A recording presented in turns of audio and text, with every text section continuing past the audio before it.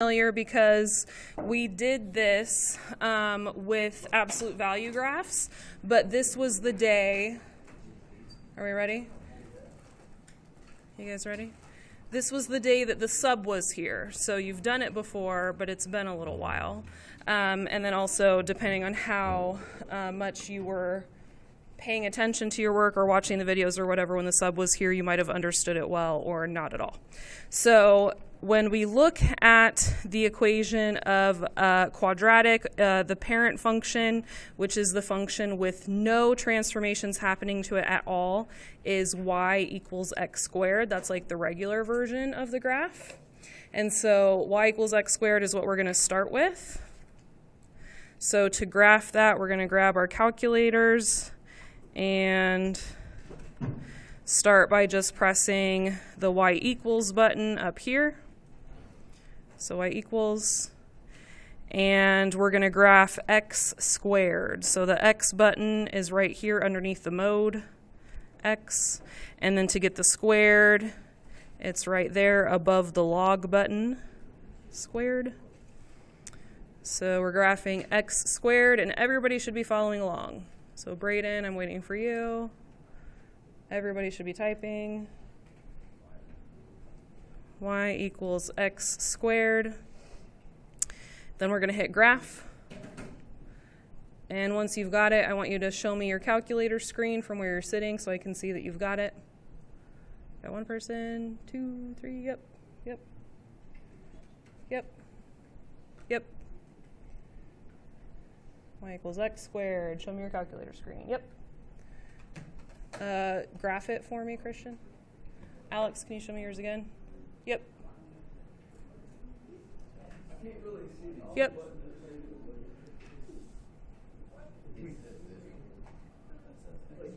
So bring it, come up here and I'll show you how to do it. Yep.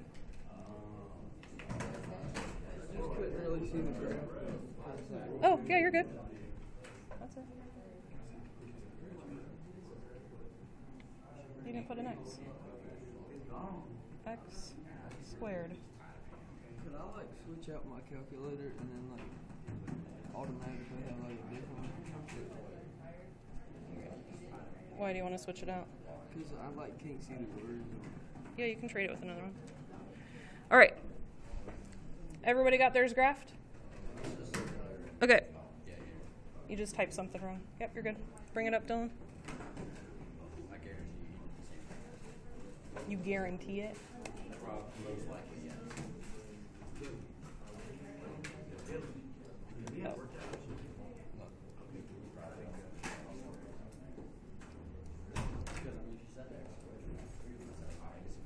All right. So now that we've got it graphed, we're going to hit second graph and we're going to look at the table and the table has some values for us to graph. So it says 0, 0, 1, 1, 2, 4, and then I want some negative values, so I'm going to hit the up arrow and kind of scroll back and get some negative values. Negative 1, 1, negative 2, 4. And so now what I'm going to do is I'm going to graph these values. So left 2, up 4. Left 1, up 1. 0, 0. 1, 1. 2, 4.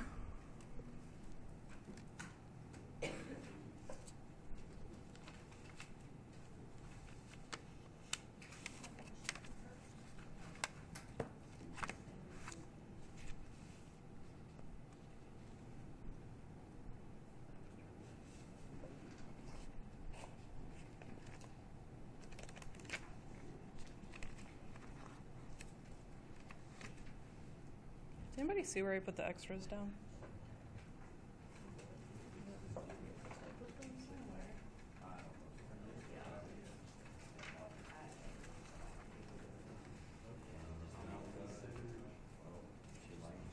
All right.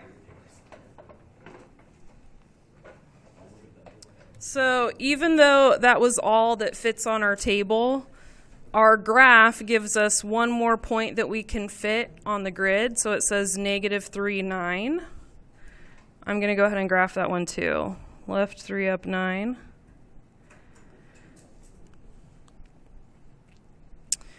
And then if I go to the positive end, positive 3, 9 is also there. So I'll go ahead and graph that one because it can fit. And then if I hit the graph button again, that's kind of the shape it should be is a nice U shape, not a V, but a nice U shape. So now I'm going to kind of draw this and just make sure it looks U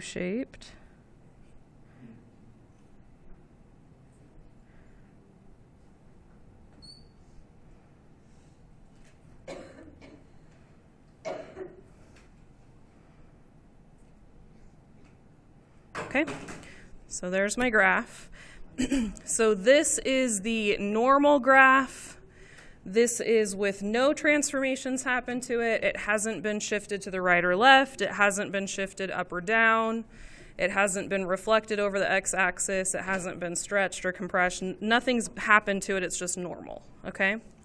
Now, this is what the equation can look like if you put other numbers in it. So if you put a number in the front, that can make the graph tall and skinny, it can make the graph short and fat, and it can take the graph and flip it upside down. Okay? So if A is a negative, if the number in the front is a negative, it takes the graph and it reflects it over the x axis. It reflects it over the x-axis. So what that does is it makes the graph look like this, makes the little U shape upside down.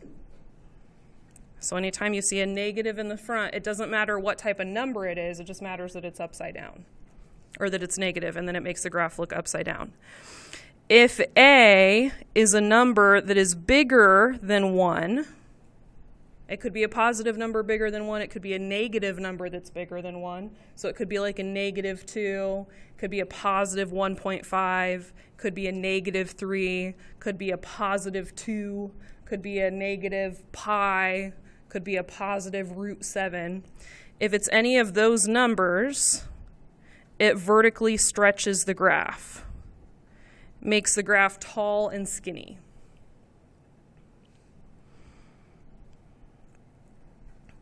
If the a value is less than 1, it doesn't matter if it's negative or not. If it's a 2 thirds, if it's a negative 1 half, if it's a 0.7, if it's a negative 0.25, that's going to make the graph look short and fat. And that's a, a vertical compression. So that's taking the graph and squishing it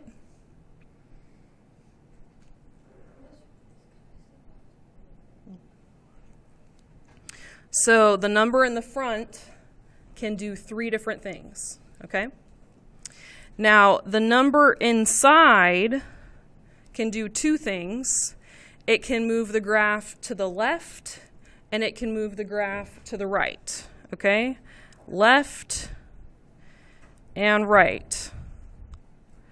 Left and right.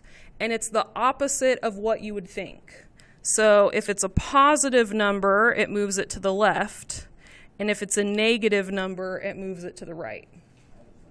So it's kind of backwards. You have to think about how you would get out of the parentheses. So if you had a plus 2, if you had a plus 2, you would minus it to get it out of the parentheses, and so it's left. If you do the you're doing the opposite, yeah. If you had a minus 5, you would plus 5 to get it out of the parentheses. Mm-hmm. Yeah. Now, the number on the end is exactly what you would think it is because it's already outside the parentheses. So the number on the end, hey, Braden, stop messing with your watch, is up or down. And if it's a plus, it moves the graph up. And if it's a minus, it moves the graph down. Okay? So those are all the transformations. If they ask what the transformations of the graph are, they're asking for the words of where the graph is moving. Is it getting tall and skinny? Is it getting short and fat? Is it moving to the left? Is it moving to the right? That's what they want to know. All right? Uh, the last thing that we usually ask for is what the vertex of the graph is. The vertex is this point right here. So that point right there is the vertex. For the parent function, it is the point zero zero. Okay? Now, the vertex, if you have transformations happening to the graph, the vertex would be h comma k. And we'll practice finding that in one of the problems that has numbers. Okay, so in the first problem, they give you uh, a quadratic that has a bunch of numbers in it, and we have to say what those numbers are. All right, so we have a 2 in the front. Is 2 negative? No, so it has not been reflected over the x-axis. Is 2 bigger than 1 or is it less than 1? It's bigger than 1. So the 2 is a vertical stretch. That was the a value. So the 2 is a vertical stretch of 2. This graph is going to be twice as tall as the normal graph. Back table, you guys are talking way too much. You've been talking this whole time. Don't look at me like that. Don't look concerned. Just pay attention. All right, vertical stretch of 2. This is the h value. That tells you if you've moved to the left or right. It's a minus 2. So which way has it moved? To the right. This graph has moved to the right 2. Okay, on the end we have the k value. It's a positive number. So does it tell us if we've moved up or down? Up. Up 3. Okay, so those are the transformations. Now we can go ahead and say what the vertex is. The vertex is based on these two numbers, this number and this number. Now, just like when we decide left and right, we're going to use the opposite of this number right here. So it says negative 2. That means we're going to use a positive 2 for our vertex. We just use the opposite sign. So vertex is positive 2, and then we take the number on the end and we use it exactly as it is. Positive 2, positive 3. All right? So next, let's go ahead and let's graph our vertex. Positive 2, positive 3. And at this point, we are ready to plug the equation in our calculator so that we can graph the rest of it. So let's grab our calculator, turn it on. We're going to press the y equals button right here. And we're going to go to where our equation just was. We're going to press the clear button, which is right underneath the down arrow. And then we're going to type in 2. The parentheses are above the 8 and 9 parentheses x minus 2 squared plus 3. So go ahead and type that in. The parentheses are above the 8 and the 9 on your calculator. So we're typing in 2 times x minus 2 squared plus 3. Braden, you should be typing this in as well. And once you've typed it in, hit the graph button and then hold your calculator up so I can see that you graphed it. Perfect. But you have something wrong on yours because it doesn't look right. Yes, yes, yes. Uh, hit the graph button so I can see the picture. Yes, yes. Perfect. Yes, yes, yes. You didn't hit the squared button. Yes, yes, yes, yes.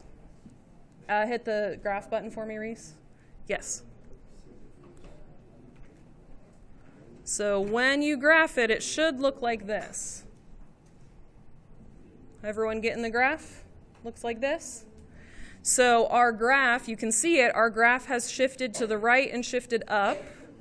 Uh, it's a little bit skinnier if you compare it to the last graph, but we can't really tell. It's, it's harder to tell on these graphs if they're skinny unless they're really, really skinny.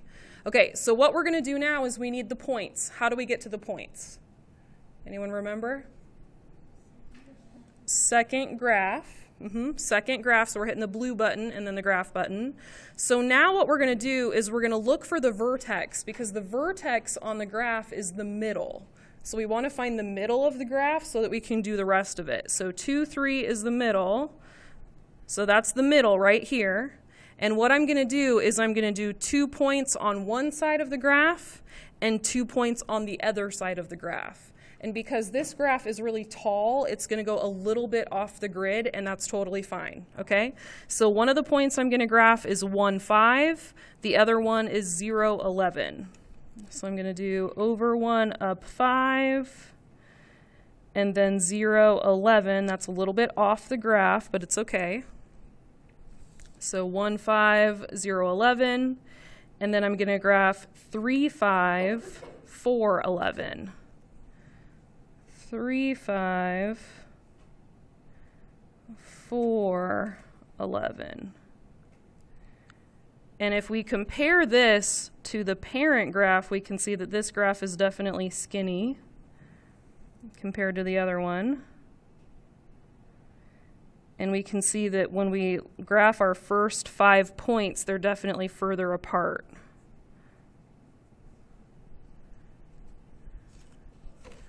So this is how tall the first five points were on the parent graph, and this one is twice as tall as that. Okay. How do you guys feel? Can we graph the points? We got the points graphed? All right. Let's look at example two. We've got a negative in the front. What does the negative in the front mean? Reflects over the x-axis. Okay, so this is the a value. The a value is negative. That means this is reflected over the x-axis. So that means when we draw the picture, it's going to be upside down. Now, this a value does not have a number with it. So that means this graph is not going to be skinny, it's not going to be tall and skinny, it's not going to be short and fat, it's just going to be normal. Not tall, skinny, not short, fat, just normal. Okay, the next number is the h. It's a positive 4. What does that mean if it's a positive 4? It goes to the left 4. Okay? The next number is the k. That one is a negative 5. What does it mean if it's a negative 5? Goes down 5. Okay, and now we want to know what our vertex is. So for our vertex, we're going to look at these two numbers. We take the opposite of this number. What's the opposite of positive 4? Negative 4. And then we take exactly the number on the end. So what's the next number? Negative 5. Okay. And so now I'm going to graph negative 4, negative 5.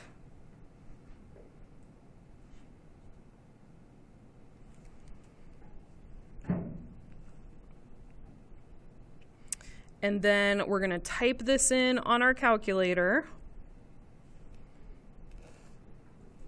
There we go. Hit the y equals button. And we're going to clear what we typed before. So underneath the down arrow, there's a clear button. And we have to type the negative first. The negative is underneath the 3. And then we need our parentheses, x plus 4 squared.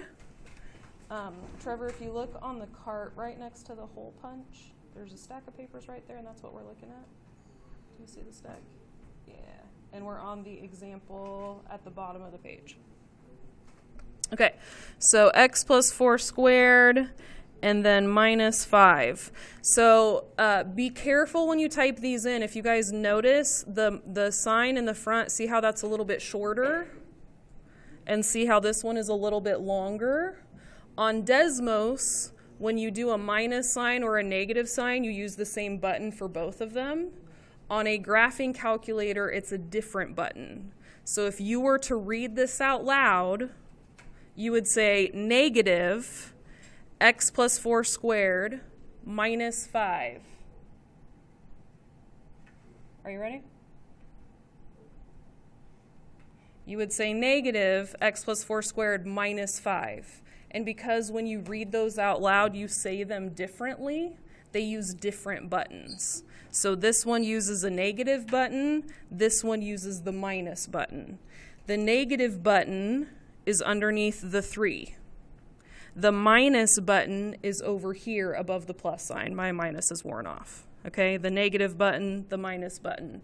And you can always tell which one to use based on how you would say the problem out loud if you were to read it to someone. Does that make sense? Do I need to explain it again? So if we read this out loud, we would say negative x plus 4 squared minus 5. So this one uses the negative button, this one uses the minus button. And when you look at it on your calculator, the negative button is really short, the minus button is longer. And that's how you can tell you got them correct, okay? So we've got this one. Go ahead and hit the graph button. And it should be right here. So once you've graphed it, go ahead and hold up your calculator so I can see you've got the right one. Perfect. Perfect. Yep, yep, yep. Yep. Yes, yes, yes, yes, yes. Good. Yep, yep. Okay. Good. All right, so once we have this, yes. Once we have this, if we want to get our points, what do we do? Second graph. And what point are we looking for? Negative 4, negative 5, because that's the middle. Okay, so I've got, there's negative 4, negative 5, there's the middle of our graph. And now I'm going to graph a couple points on each side. That'll be the rest of my graph. So negative 5, negative 6.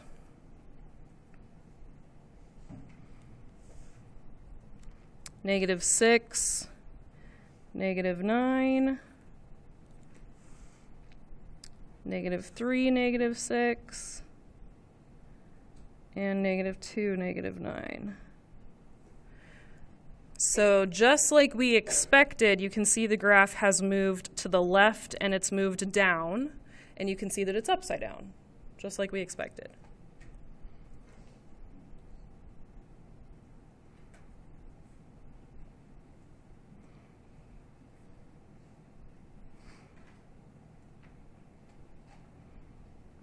Okay, so what'd you say? Mm-hmm. So this is what we're doing today. We are taking the equations, we are writing down what the transformations are, we are finding the vertex, and we're graphing them on our calculator. That's what we're doing, okay? All right, um, so what I would do is leave these notes out in front of you, and then I'm gonna go ahead and hand out the worksheet. It is one page, front and back.